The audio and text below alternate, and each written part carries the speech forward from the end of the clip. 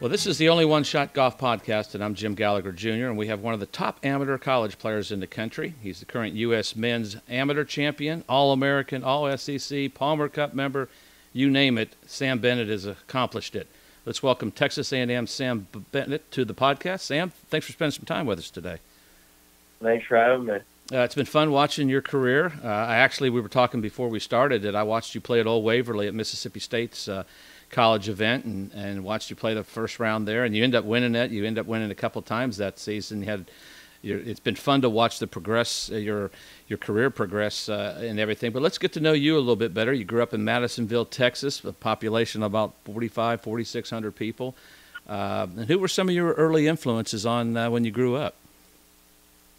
Yeah, just uh, my dad. I mean, uh, dad and grandpa started playing golf ever ever since you know I could walk, and um, grandpa took me out to on a little nine hole course, and you know I pretty much you know stay out there till sunrise to sunset, and just you know mess around on that little course.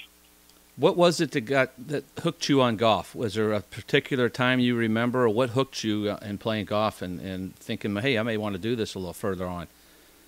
Yeah, no, nothing. Never really got hooked. Um, you know, played multiple sports growing up, and you know, golf wasn't always the one. But um, kind of once I started receiving, you know, letters and you know, eighth grade um, for some from some college coaches, that's when I kind of you know realized this is what I should probably you know this is what I want to do for you know for college and whatnot.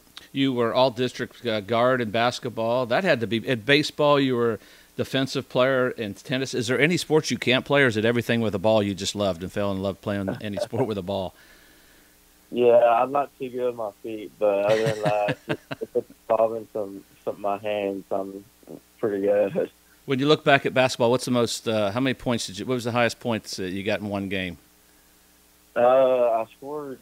It was 35. Wow. And then I scored 21 and a quarter once. Did you really? Yeah. You know, I was watching a video. I think you did it for the USGA. You still got it. You uh, still shoot some hoops every once in a while. I know you're not supposed to be playing while you're playing golf. Coach Kortan does not need to know that he, on this podcast. You don't have to tell me everything, but you still get to shoot around a little bit. Oh yeah, we went to. Uh, I actually played basketball yesterday. Went to the rec and um, you know had some had some good runs. Um, yeah, we still play anything that uh you know keeps get away from golf, but still be able to keep you know the competitive nature going. It, it's nice. You know, I always feel like it's it's good for kids to play multiple sports. Obviously, you did. What's your take on that? Do you think kids playing golf should play all other sports growing up? For sure. I mean, it was different for me a little bit, just from um, you know growing up in a small town and kind of you know having that will to be able to do that. Um, I know it can be different at some bigger schools, but um, no, for me it was nice. Um, just how competitive you stay, and um, you know, having to you know do this, playing in playoff games for you know basketball, having to make you know different plays, you know, being around the team aspect, having to you know do different stuff, whether it's running you know foul poles in baseball or running you know suicide basketball, just you know stuff like that, and um, that I can think can help just from the competitive side. And um, you know keeping you active and and whatnot you mentioned team sport. Golf's such an individual sport. You sort of kind of have to be a little selfish, a little all about me to play golf. But you mentioned team sports. College golf is a team sport. So obviously, uh, the sports you played in high school had to help you. And you, you, you all have a pretty tight team at Texas A&M, don't you? Yeah, I, I love my team. Um, you know, it's the reason I stayed over here. And that's the fun thing about golf too, is from the team aspect. Is um, um, you know, you can always you know, you can be out of it, but you know, still got to you know grind out of you know 77 to help your team the best you can. You know, that maybe higher than that. Heck, it's been sometimes been higher than that for for me. Um, but it, it's fun, and um, you know, we're tied, and we're looking forward to the spring. You mentioned coming back, and we'll get into that a little bit later. But you also, we were talking about growing up on a nine-hole golf course. Chad Ramey, who's won on the PGA Tour, grew up in Fulton, Mississippi, nine-hole golf course, as did Ally Ewing, who's won three times on the LPGA. Uh, you know, it doesn't necessarily you have to grow up on a fancy golf course to be successful at it. Like you said, you were out there every single day. Y'all moved closer to to, to an 18-hole golf course as you got older. But what are some of the things you learned growing up on that nine-hole golf course to help you uh, kind of get through high school golf, junior golf, and, and on? Yeah, just you know, I learned what it takes. You know, it took to you know shoot a good score. Um, I learned you know what it took for me to you know be successful uh, with never having a lesson. Just kind of you know figuring out by myself. You know, like you know finding the game in the dirt is you know some of the greats say um, you know only you can fix it. Um, you know, I just figured out you know you know, it's, I've said it before. It's called golf. It's not golf swing. You know, no matter what it looks like, you're only there's one objective, and um, you know, I kind of figured out how to play the game there, and then, um, you know, obviously I had to transition into, you know, some nicer golf courses, but the basics, I kind of knew what I needed to do, and then uh, just went from there. But um, I think I was able to use my imagination a lot with, um, you know, some of the shots I was able to hit out there, and with some dog legs and, um, you know, different lies, and just kind of, you know, figure out what the what the, what the club can do you you know, choke down, if you do this, you know, do different stuff, I kind of got a good understanding of, you know, my hands and, you know, club face awareness. And, um, you know, it's helped me, and I'm, I'm you know, I'm never going to change that. Did you have an instructor? Was your dad, your grandpa your instructor? And it sounds like you do a lot of stuff on your own. Do you have one now? Uh, no, I don't have an instructor. Uh, instructor, you know, my college coach for time. He knows my swing pretty well and my tendencies, but um, no, it's never uh, never really a swing thing for me. It's it's more of kind of field, and I think my swing feels different every day. Sure does, as far as any other pro golfer too. But um, yeah, we just kind of work with what we got. Yeah, you know, you mentioned that. That's I love the fact that you you own your own golf swing. It's yours you know, when you're having a bad day, what's the advice you give to some of the juniors that might be listening? And you talked about grinding it out. What's some of the advice you give it to those kids that are, you know, maybe not having their best day, uh, maybe playing in front of a college coach for the first time, trying a little bit too hard? Yeah, I mean, uh, it can be tough. You know, golf is a, it's a funny game, man. Once once you we say it multiple times, once you think you have it figured out, you don't. You don't. Yeah. It just comes right to you, and uh, you know, that happened to me this, you know, fall. Um, you know, after winning the USAM, getting content with a couple things, and not really content, just whatever, not going back to my basics of just the little things I was doing, you know, that were making me successful. Um, but um, it's tough, and I think you just gotta, you know, stay with it, and you know, one round doesn't, you know, define or matter. I mean, this game's tough. I mean, shot 80, you know, one time this year, and you know, the next day I shot I think 67. So, um, you know, if you just know know your tendencies and kind of know what you're working with, and you know know you know know what it takes, and um, it'll be fine. I think everything um, works out, but um, you know, it's all you know, it's a game between the ears, and I think it matters how you just you know manage that, manage your expectations, and uh, kind of knowing yourself a little more. How do you how do you manage those expectations? You mentioned the USAM. You've won the USAM. It's the you know the the, the crown uh, of all amateur golf. Did you have maybe a, put a little extra pressure on yourself when you came back to the fall, thinking, "Hey, I'm the USAM champ. I'm supposed to play like the USAM champ, etc." Did you have some personal expectations that maybe got in the way? Because a lot of people do. Hal Sutton said one time he was compared to Jack Nicklaus. He said, "How could I ever play like Jack Nicklaus? I'm Hal Sutton." Did you maybe have that uh, maybe after that win?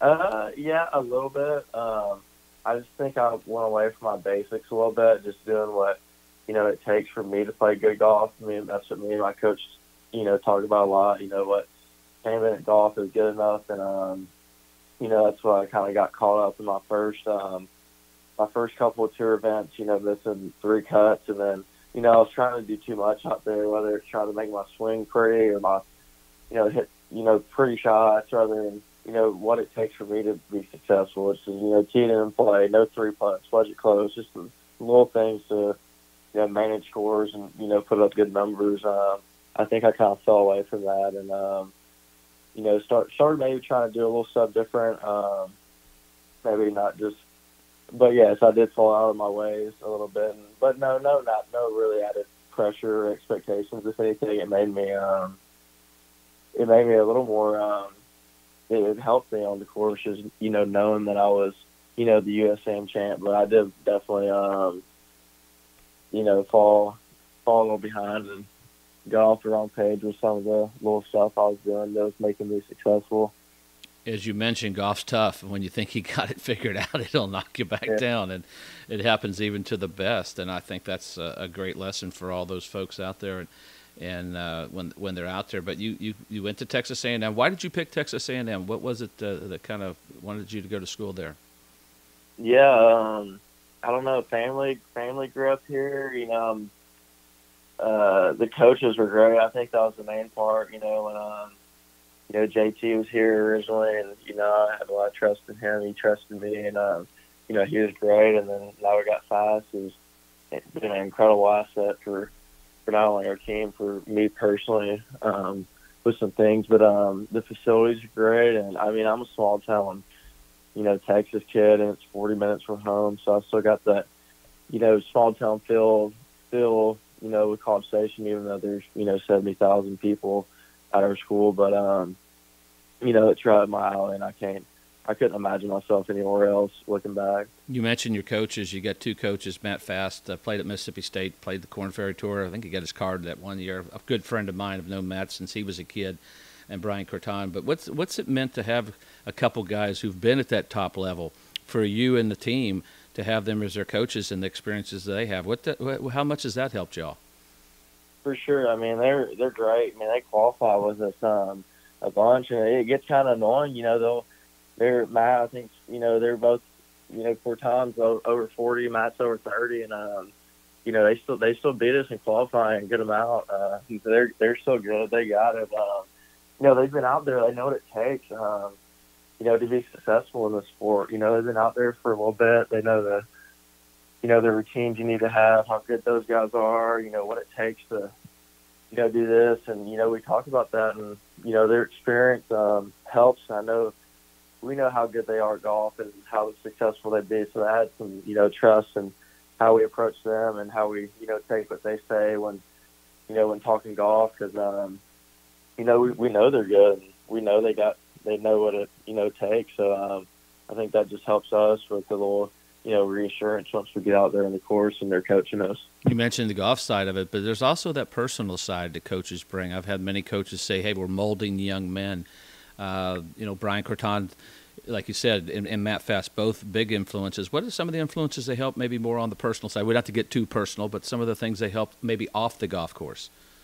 Yeah, yeah. I mean, everybody knows, you know, I lost my father a couple of years ago, and you know, I went to you know Kortan a bunch during that time, and still do. And um, you know, he's helped me, um, you know, just get through some days sometimes um, when things were tough. So it's fast, and um, you know, just with routines, um, right now, you know, I'm trying to, you know, be be ready. So when I'm when I'm done in May, I'm you know playing eight out of ten weeks on tour, and um, they know I need to change some stuff in my daily life and habits just to, you know, make it easier for when I get out there on the road and I'm you know by myself. Just some you know simple you know strategies I need to do to be successful, and um, they do that with each you know one of us. You know, they care about about us just as much as people and you know, who are coming and, you know, what we shoot in college golf tournaments. So that's huge to have, um, you know, two guys that are not only there for golf, but um, there for anything in, you know, life that, you know, comes at you if you, if you need it. Yeah, that's so important. I think that's, it's more important than people think when you're picking a school and a coach. And you don't always know. I always, I had two girls, one played at Mississippi State, one played at LSU, and I was like, hey, when they're recruiting you, they're selling you filet mignon and lobster you know they're they're throwing it all at you. When you get to school, you're probably serving it. So uh, you just got to be able to separate that. But sounds like those two guys do a great job. You mentioned your dad. I know my wife uh, when she was in college, her mom was diagnosed with cancer. Such a tough time. Tiger Woods with mm-hmm. his uh, his dad, and, and I just know it's so hard at such a young age to deal with that. And that had to be. I, I can't imagine what that was like, but. Uh, I know you've had some great memories there. You've got a tattoo of a saying your dad had on your arm, and he's there with you every day. Yes, sir. Yeah, it's it's uh it's really cool to have somebody like that. My dad was my instructor, and and uh, you know we growing up with that, it was just so much fun to have. And then have college coaches. Like I, I think when I tell kids, college is such a great time. You mentioned your team and how tight y'all were. Uh, I went to Tennessee. We've had a reunion, and we're still friends. We're all in our 50s and 60s, and we still take play, uh, you know, it together as a team. But your team has had a really good fall. We talked about that. Um, you know, what are some of the goals you had? You mentioned, let's go back. Last year, team misses the cut at NCAAs. I meant to mention uh, this earlier. You're by yourself. You're going to play the final round. I talked to Matt Fast. We talked about it. And you said something. You went out and, and you grinded it out that last day on your own and ended up finishing in the top 10. Tell us about that and what that was like to kind of keep grinding out, uh, even though the team didn't make it. Yeah, that was cool. You know, I wanted to, um, well, I was mad at Nationals. I mean, um, you know, we we got, I think we got 16th, and this is the you know cut to play the last day, and um, you know that was I, I put that on me. You know, um, we had some other you know guys falter a little bit coming in, but um, you know that that was on me while we didn't um, you know while we didn't make the 15th. I mean, I missed a shorty for birdie on 17 when I was last out, and then um, 18 I hit in the fairway bunker and you know that's my weakness. Um, my weakness was fairway bunkers, and it showed there. And I, I hit a terrible shot and ended up making you know, bogey, and we we missed um, by one. So that that kind of stung a little bit, and you know, I was kind of mad um, that I was, you know, the only not mad, but I didn't want to be the only one out there playing when, um, you know, I felt like I let the team down. But um, it was fun to be out there with Kortan and you know grind out a, you know, shoot a 64 at you know Grayhawk in the afternoon on the last day when you know that score is really not out there. But um, you know, we just did the little things right. Like I was saying, you know, me and Kortan, we didn't do anything, you know, special. We just, you know, stacking shots, hitting the right shots, you know, doing the little things right to, uh, you know, put up a good score. But um, it was fun. It was fun um, being out there recording to, you know, get a cool, good finish. But um, you know, I'm a team guy, and I wish we could have, I could have been out there with my team. But this year we we're looking good, and um, I was excited to be back, and um, you know, helping my team out and, you know, the best way I can, you know, whether that's, you know, shooting, you know, winning golf tournaments or, you know, putting up, you know, grinding out of 75 like I was talking about. But, um, you know, we're going to be good this year. We had a pretty good fall, two wins, and then we just had one bad round at Georgia, but um, we're deep this year. Um, the past couple of years we haven't been, you know, too deep, but this year we got, you know, a bunch of guys that can play, and um, we're really competitive, and I think we're all making each other a little bit better this year compared to the past. You know, uh, Kortan said your strength is you have no weaknesses. That's some pretty high praise. How would you describe your game? Yeah, um, it's pretty spot on. Um, I've said that a few times too. Um, there's, there's, it's pretty good, you know, tee to green. Um, good wedge player I got to be, you know, not hitting it, you know, the farthest. Kind of got to, you know, take advantage of those opportunities and. Uh, you know, my putting, when my putting's, I mean, this is pretty obvious for any, you know, golfer at our, at our level, but, um, you know, if I can get the, the putting's the, you know, the problem, if I can get the putting kind of dictates how I play, um, you know, if I can get that thing rolling, I'll be in contention, but, uh, you know, if not, I'll kind of be stagnant. So, um, you know, this off season, you know, I've talked, we have end, end of the year meetings with my coaches, you know, not too long ago. And, you know, really all only thing I it seemed like I needed to, you know, kind of improve to, you know, get my name, my game to the next level and be more consistent is inside 30 yards. So um, I think that's what we're going to be, you know, working on that because my ball striking's never, you know, too far off. But um, I want to stay consistent and, you know, be successful. I think my, you know, my short game needs to t- become a little more consistent. You played a couple PGA Tour events. Uh, that experience had to be incredible. What did you learn there that's going to help you uh, uh, maybe in your career as you continue on? For sure, yeah. I mean, I see those guys. Um, for example, I saw, um, you know, you know, Spieth was out there. He had an afternoon tee time on Friday, and I at Valero Texas Open, and um, he was out there putting at nine o'clock in the morning when I had a when he had like a two o'clock tee time. I was about to tee off, and I thought that was crazy. Same for Hideki, just you know what those guys do and you know how hard they actually work. I was able to you know see that firsthand, and then uh, just to see their their wedge play. Um, you know, they're, that's the thing I noticed. That, you know, we all hit it about the same. Um, you know, roughly, generally speaking, but um, you know, their wedges were all of them were dialed in, and um, you know, if, what I noticed the big time is you know if they have a basic pitch or chip, I mean, instead of hitting it the you know five six feet, you know, like you know most college guys or you know we do um, you know they knock it dead. So I, I really noticed that um, you know inside 100 yards how good those guys are. You mentioned a couple of those things. You know and we always ask our, our guests you know what separates that elite player from the elite? You mentioned that that work ethic the short game the wedges. Or anything else that either you've seen or you've been watching over the years that maybe separates, even at the college level, that elite player like yourself from the maybe the rest? Uh, no, I mean, I think you can just, you know, you can see it in some people. Some, you know, the competitive nature, the mental side comes in. If you, if you want to be there, how someone handle handle this pressure. If they, you know, enjoy being under the gun in the moment, they have to be a big shot, or they want to shy away from it. You know, if they, you know, soak it in and actually slow down, or they're, you know, rush to hit a shot, or if they're, you can tell that they're nervous. But you, I think you can see it in some people that you know, I've seen over the, you know, past, you know, you see Tiger and Rory and the, you know, Koepkas and just all the, the looks some people get when they're actually playing, how they're just so, you know, laser focused and focused and enjoys the moment. And, you know, I think that's what, you know, helped me a bunch is, um, I try to help my teammates is, you know, enjoying the moment. You know, you, you, you should want to be nervous. You should want to have mm-hmm. to hit that big shot, but want to have to do everything. You know, that's we, you know, practice and play and did it from a young age. You know, you should, you, you want to find yourself in those big moments because that's what you you're supposed to do, and not to you know shy away from it. I think that's what helped me is to you know realize that you know nerves are okay and you know pressure's fun, and you know just soak it all in. You talked about pressure, big moments, confidence. You obviously play with a lot of confidence. Take us back to the USAM and some of the highlights on that big win. Uh, was that a goal of yours? You know, maybe growing up to maybe win a USAM.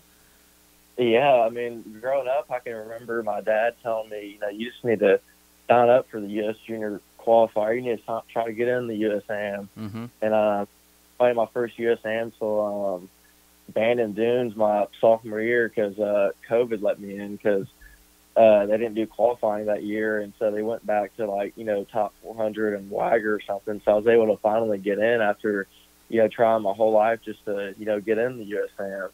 And then um, but I, I mean, looking back, I never saw my looking back as a junior, I never really saw myself winning the USAM until you know all the experience set in. Until I, you know, choked off my first college, you know, win in Laredo. I shot 42 on the back nine, and then you know, talked to coaches, uh, coaches, and you know, trying to figure out what it takes for me to, what I need to do to get better to win. And you know, finally winning the college tournament to you know, shooting 80s and tour events, and then to coming back and winning more tournaments, and then you know playing Palmer Cups and making the cut at the U.S. Open. It's all kind of you know been built up, and I can see it looking back just from all the you know tiny experiences and the you know faults and stuff that you know have shaped me into the player and you know given me the experience to succeed under you know that kind of pressure.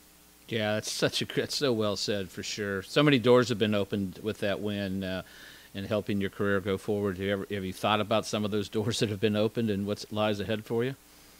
Yeah, it's cool. You know, I mean, I, I I've been watching Masters highlights, just old ones. You know, clips of the back nine from just uh just because I'm pretty excited to be there. I mean, that was a dream, you know, to go to Augusta. But uh, yeah, definitely, I'm gonna you know be able to get a bunch of hopefully a bunch of starts right out of the gates. But um, you know, right now my my focus is solely on myself and you know my team and what I need to do to get better, you know, mentally, physically, and how I can help my team. You know, try to you know compete for SECs and national championships this year, and then uh, you know once that hits, we'll we'll we'll um, you know we'll we'll go from there. But right now, I'm you know I'm trying to you know help help the Aggies and um, my teammates the best I can in the spring. How were you able to block out knowing in that USAM when you get to the semifinals and get towards that? Hey, if I do this, I can get in Augusta. Were you able to block that out and stay focused on the matches? Obviously, you did because you won, but that that had to be entering your mind at some point.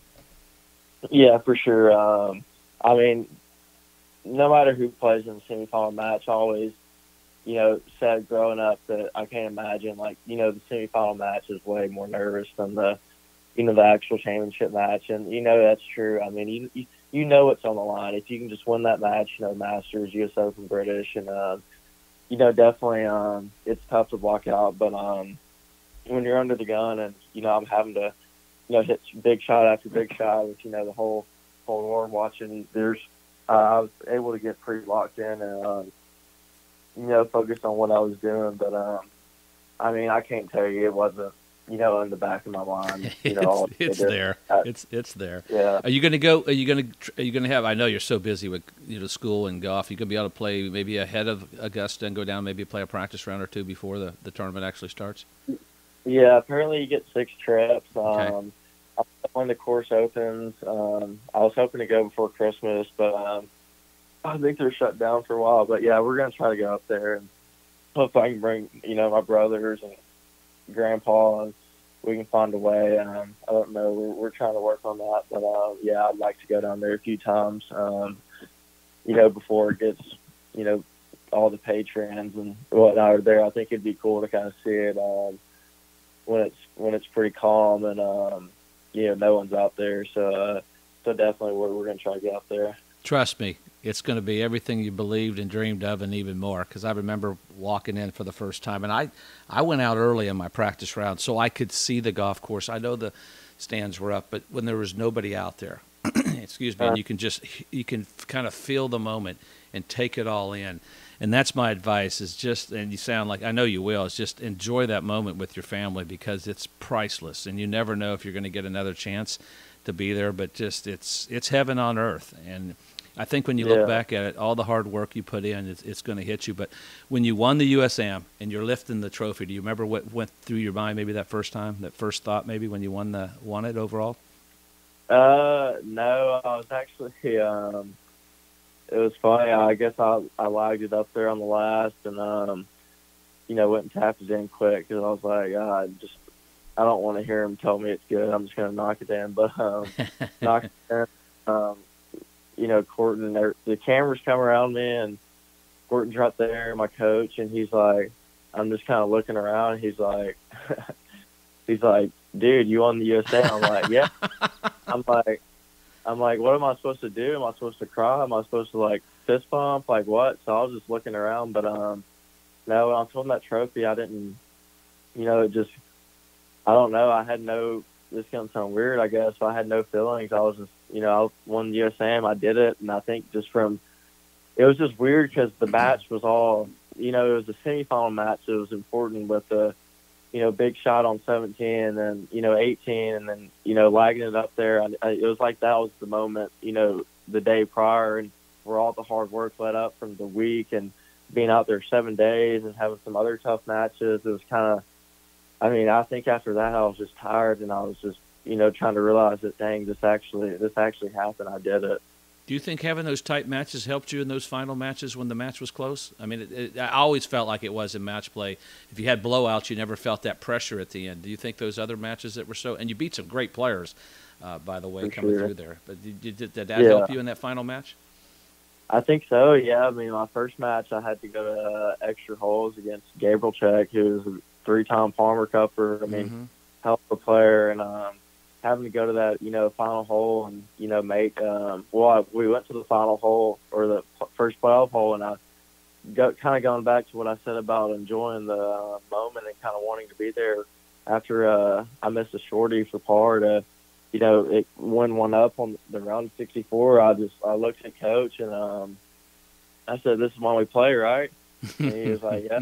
we just started walking to the 19th hole, and that's the same thing I did on the semifinal match when Menante walked it in on um, 15, and we were heading 16 all square in the semifinal match. I just looked at him and smiled. I said, "This is why we play the game, right?" And so I was just, I was enjoying it, man. Uh, it was fun. I, I was, I was, I was really enjoying being there, and you know, having to hit the hit the shots I was, you know, having to hit. But um, yeah, that's that's definitely tough. Um, you know, it's it's tough closing out a match. You know, um, you feel like no lead's never good enough in match play, even if you're you know three up. Um, it's it's hard to it, it's just hard to close out a match, and um, knowing that I was able to do that early uh, did give me some confidence. You know, in the the final couple matches. What advice do you have for juniors? That was some great advice. You know, you, no lead safe. You got to finish out the match. Tough to finish it out. What advice do you have for some of the juniors who will be starting to play some match play out there? Yeah, match play is you know it, it's different.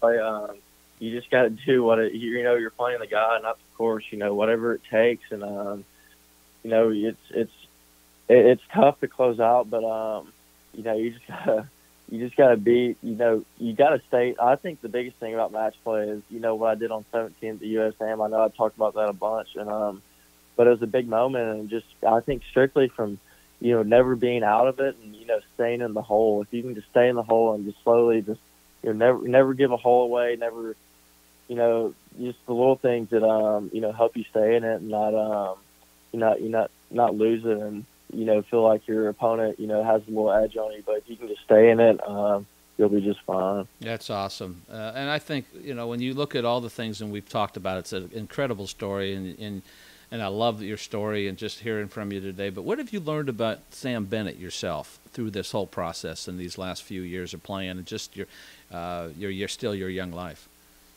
Yeah, just uh, I know you know no matter what's going on and you know my life, whether on the course, off the course, um, the stuff I've been able to accomplish through you know the you know my tough tough trials and tribulations that you know I can you know I can do it. Um, you know I've accomplished a lot of things when um you know I had doubt and you know I, I do things I still do things um, today. You know wake up you know scared or fearful, but um, you know I do it anyways. Um, and I think that's for anybody. You know you, you don't. I mean life's about like you know most of the stuff you do is is not fun. You just got to get up and you know do it and you do it again and you see progress and you see results and um, you know it's cool watching the process, especially for me, just from everything you know that's happened from you know some stuff in my life to my golf struggles to you know see all the experience add up and everything starting you know to finally pay off and just knowing that you know no matter what's going on um, that I can you know accomplish some pretty good feats and that that not just goes for me that goes for uh, anybody. That's great advice. Fantastic. What's uh, up ahead for you? I know you got a big spring ahead for the team. What are some of the goals, maybe for the team and yourself, uh, as you head into the spring uh, in January, February? Yeah, for sure. Well, I said, uh, I guess I sit fourth PGA Tour U, and um, you know, I'd like to get to that one spot. And you know, with the new rankings coming out, even though it shouldn't, you know, matter too much for me, I guess I'll be on a little different path, just you know, with the AM and you know, kind of highly ranked, getting some tour starts. But I'd really like to have a good season and try to, you know, get you know, get back to that one spot where I was, where I left left off last year. But uh, you know, I'm kind of looking more side, more so for the team side. Um, you know, I want to you know, be a leader on this team and, you know, shoot the scores I should be shooting for, you know, my team to help them out. And, um, I mean, I want an SEC championship bad. Um, I love Sea Island. I love the match play format there. Um, we all love going back there. So, uh, I'm, I'm really looking forward and we all are looking forward to getting back to Sea and, you know, trying to keep, compete for that. And then hopefully, you know, peak at the right time come nationals. PGA Tour U has been a great thing for you, young players. Some players, it's kept them in school. Now they're changing a little bit of that. Uh, that's been a fantastic uh, avenue for you guys out of college to get to the PGA Tour because it was closed for a while. You would go to the, and I'm not saying the Corn Ferry Tour is not a great place to learn some things, but it now allows maybe one of you or a few of you to have a better chance of getting the PGA Tour right out of college, and I think that's been a, a, a fantastic thing. But Sam, I appreciate you spending some time with us. Uh, your story's fantastic. You're inspiring a lot of people, and I appreciate you telling that story and allowing us to get to know you a little bit better. And, and we're going to wish you and the Aggies a lot of success. I'll probably see you out the NCAA's, uh, but I'll be doing a lot of the college golf, keeping up with that. But uh, it's been great catching up with you. Yes, sir. Thanks for having me. Well, that was Sam Bennett, and what a great story. Uh, been through some tough times at a very young age, and as he said, those experiences have helped him in life. And and uh, some of the times you the, the times you fall, you learn so much about yourself, uh, and, and maybe even the sport you're playing, but more about those life lessons. And uh, he gave us some great advice. Great advice for some of the kids out there. And he, he's a story of the kind of the underdog, I guess, but not really now because he's gotten to that level. But a guy that grew up on a nine-hole golf course and is uh, made a name for himself in amateur golf, USAM champ, and in, in, college golf, and I'm sure he's going to have a very successful professional year, career, especially with the way he grinds it out. But uh, uh, we appreciate uh, him being with us today, and I appreciate Steve Azar for allowing us to use his music. You can find Steve at steveazar.com. Don't forget to get your copy of Only One Shot. That's available at Amazon, written by VJ Trolio teaching professional at the Old Waverly Golf Club. If you want to get a hold of us, you can get a hold of us at Only One Shot Golf at gmail.com. My name's Jim Gallagher Jr. Appreciate you listening. Until next time, we'll see you later.